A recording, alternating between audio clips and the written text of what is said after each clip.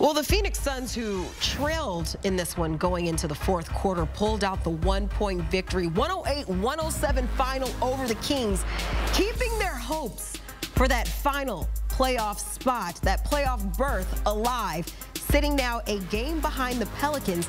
They'll close out their season in Milwaukee on Sunday, needing a loss from the Pelicans to secure their spot in the West. Entering the last weekend in the NBA regular season, there is so much at stake. 17 seeds still undetermined. The Cavs, for example, could be the second seed or drop all the way to the seventh seed. And with that, we welcome in CBS Sports NBA reporters Bill Reiter and Sam Quinn as the picture, guys, I really hoped I could say this today. The picture becomes more clear, but it's not. It's not clear with just two days left in the regular season. But let's begin things in the West. And my, how things can change in a day's time. On Thursday, it was the Nuggets who gained possession of that one.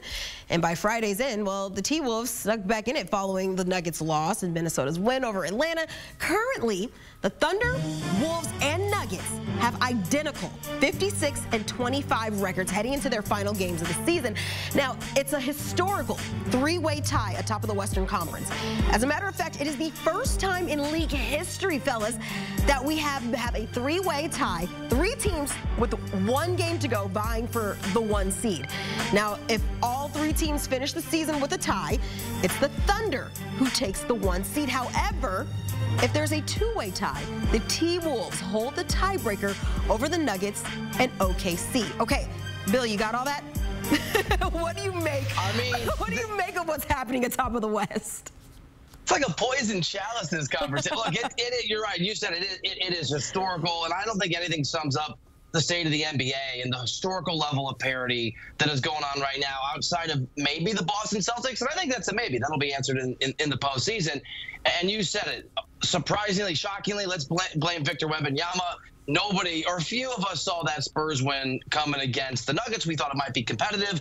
What a comeback. Wemby's amazing. And you're right. Now the Thunder have that three-way tiebreaker. So they need to hope that they win and the other two teams along with them, Denver and the Timberwolves, also win or all three lose because they do not have the tiebreaker against the Timberwolves. So if the Timberwolves and the Thunder end up tied, then it's the Timberwolves.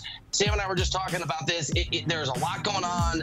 There's a lot of ins. There's a lot of outs. And, and this close call and the fact the final game of the season is basically a pre-playoff reality for almost every team in the NBA and almost every game on the schedule matters to that degree.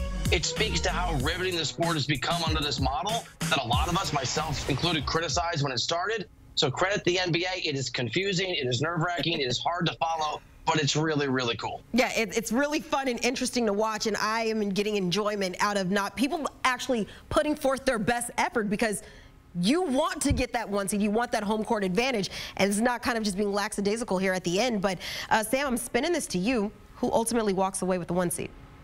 I'm going to go with Oklahoma City. I mean, if you look at the schedule, the Mavericks, who are the number five seed locked in, are playing against the Thunder on Sunday. Kyrie Irving and Luka Doncic have been ruled out already for that game. I don't want to say that any win is going to be easy after what we saw between Denver and San Antonio tonight, but I feel pretty comfortable saying the Thunder are going to win that one. Denver obviously has a pretty winnable game against Memphis as well. So really it comes down to what happens between Minnesota and Phoenix. Look, I know the Suns won tonight. It's a feel good win. Look at their week as a whole. They get killed by the Clippers. They almost lose to Bones Hyland, and they need a big comeback against the Kings team playing on the second half of a back to back. I don't trust the Suns in that game. I think all three of them are going to win. I think the Thunder are going to take the number one seed. I do want to point out, though, there is a major winner tonight that we haven't talked about. That Those are the Los Angeles Clippers and the Dallas Mavericks. They came into tonight thinking that Denver was going to be the number one seed that probably is going to be the most exciting first round series between the Clippers and Mavs. We've obviously seen that series twice before.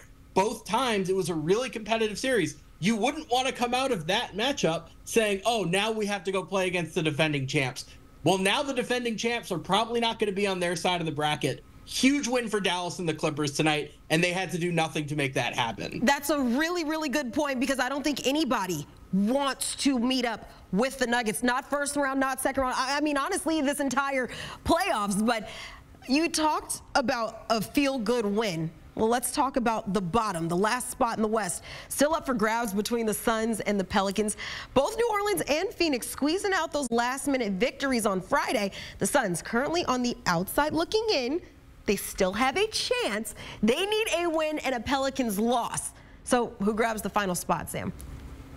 I'm going to go with the Pelicans. Look, the Lakers tonight should have waltzed to one of the easiest wins of their season over the Grizzlies. The Grizzlies had 13 players listed out on their injury report. And that game went down to basically the final possession. The Lakers, right now, it's been such a tough week for them. Obviously, they've had injuries. You know, LeBron missed Sunday against the Timberwolves. Anthony Davis had the eye injury. The way they played tonight, I can't expect them to go on the road and play against the Pelicans team that's expected to have Brandon Ingram back. Zion Williamson playing incredibly lately. That team is really clicking. I'm just going to lean on the Pelicans to take the win, take it out of the tiebreaker's hands. What happens to Phoenix doesn't matter. The Pelicans are going to win. I think they're going to get number six. Uh, Bill, the Suns have the T Wolves on Sunday. Looking at what lies ahead, looking at what lies ahead for New Orleans, do they have a chance? I'm, I'm 100% with, with Sam. I, have got money with John Gonzalez over on the Beyond the Arc podcast on several scenarios, and one of them involves the Suns if they play the Timberwolves. And I just want to take the money and just hand it to John now because Sam's right. The Suns have been remarkably inconsistent. Now, look, that's a good win tonight. It, it certainly is, but the Kings gave that away at the end of the game, especially down the stretch in that fourth quarter. And this is a New Orleans team. I know there's no Brandon Ingram right now, but uh, three weeks ago, they were top 10 in offensive and defensive rating. They really had the resume and the hallmark of the kind of team that can make a deep run in an NBA playoffs. And you look back and you say, all the signs were there. Maybe we didn't give them the credit they deserve. They're just a better basketball team. I'm with Sam. I think they win that game. That head, I won't even say his name. That head coach here in Los Angeles of the Lakers, who is not the most popular man on the face of the earth with the fan base, is not instilling a lot of confidence right now in the guys I'm told that he actually leads and the fan base here. It just it feels like everything is set up for the Pelicans to clinch that final spot. But I will say this what an unpredictable day. And that Spurs game really sort of underscores that. Yeah. Anything can happen. Any of the scenarios can happen. I, I'm with Sam. The most likely outcome is New Orleans locks that in. But who the hell knows based on what's been going on the last 48 hours? Like you said, anything can literally happen over these next two days. All right, let's move to the East, shall we? If you thought there was clarity in the Eastern Conference, well, I regret to inform you that you thought wrong. There is a three-way tie between the Magic, the Pacers, and the Sixers. The Heat are also still in that mix as well. There's four teams left for two playoff spots. The other two teams will be heading to the play-in. So, Bill, at the close of the weekend, who's locked in and who's battling it out in the play-in? I don't know. This is, this is like asking me to, to do the physics of how to get to the moon. So most likely outcome is the Bucks are going to be two and the Knicks are probably going to be three. But it's uh, there's so many moving parts here and there's so many things that are going on I, I, honestly, I, I, don't know, and I don't think anybody knows. This is a, such a confusing conundrum and cauldron of information you have to take in. And the reality is sort of like we see in the NFL sometimes, where there's a final opportunity in a team. I remember covering a Chiefs team years ago where seven things had to happen for the Chiefs to get into the playoffs, and it did. This is kind of like that. There's so many moving parts. It feels like it's going to be Bucks. I, I, I know they lost pretty handily against the Thunder, but I, I think they're going to finish that two spot. The Knicks are likely to be the three, but obviously they can go up, they can go down. Cleveland's been a mess lately. It's I, Sam, if you have a predictive model in front of you, I will hear it because I spent an hour trying to figure out what I thought. I just came to the conclusion I don't think anybody knows, and I certainly don't. I'm going to take the path of least resistance here. I'm going to say the Bucks beat the Magic just because of those teams in that mess in the middle. They're the only ones with a pretty tough opponent, right? Like Philly, I believe plays Brooklyn. Indiana plays Atlanta. Uh, like, I, am going to assume, and look, I don't want to make these assumptions as if they're locks after what happened to Denver tonight. I'm going to assume that the better teams take care of business. So, sure, I'll throw it out there. Orlando loses to Milwaukee and they fall to the play in. They play Miami, and then we have Indiana in the playoffs. We have the Knicks, we have the Cavs, we have the Bucks, we have Philly. There we go. That's all I can say. I'm sure we're gonna get to Sunday, and 40 things are gonna happen, and we're gonna look at it and like, wait, how did the Heat get to the number one seed? I don't know. It's gonna be something crazy. There's a graphic floating around there that shows all of the different possibilities, and you know how that people say like, what did you take from school that you can apply to everyday life? Well, these permutations are something right now because the NBA is certainly giving us plenty of options. And guys, uh, we can say whatever it might be right now, but you're completely right, Sam.